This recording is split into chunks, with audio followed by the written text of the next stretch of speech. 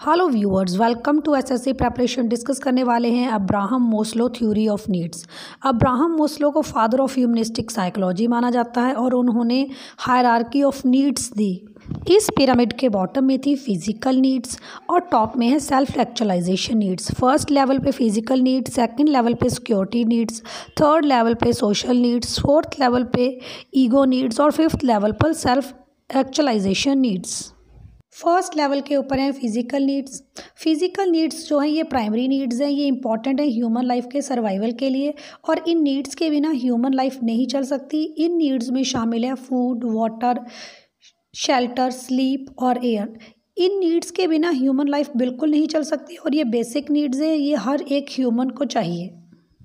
Second level के ऊपर needs हैं सेफ्टी नीड्स जब ह्यूमन अपनी physiological needs that is primary needs air water food को पूरा कर लेगा, तब वो आएगा सेकेंड लेवल के ऊपर सेफ्टी नीड्स के ऊपर।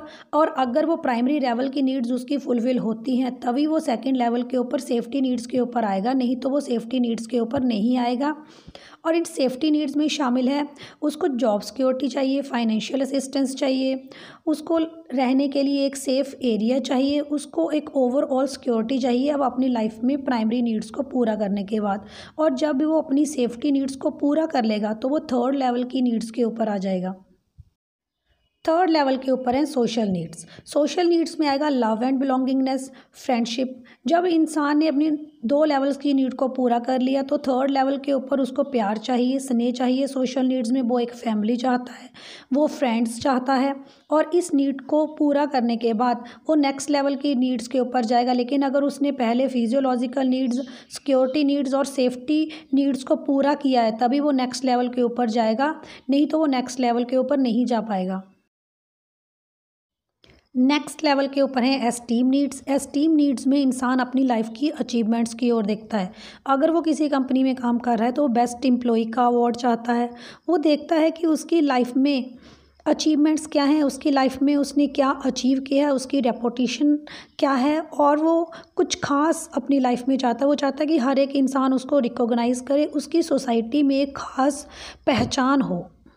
मोस्लो हैरार्की के टॉप के ऊपर हैं self actualization needs self actualization needs में इंसान कुछ देश, कुछ समाज के लिए, कुछ सोसाइटी के लिए खास करना चाहता है। वो देखता है कि ह्यूमन लाइफ में उसकी लाइफ का मोटिव क्या है।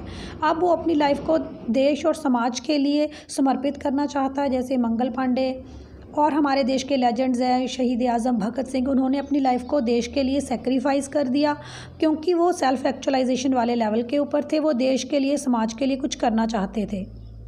इस वीडियो में हमने डिस्कस की Maslow hierarchy of needs video अच्छा लगा है तो वीडियो को लाइक शेयर ज़रूर करें। लेटेस्ट वीडियो की नोटिफिकेशन के लिए चैनल एसएससी प्रेपरेशन को सब्सक्राइब कर लें। Thanks for watching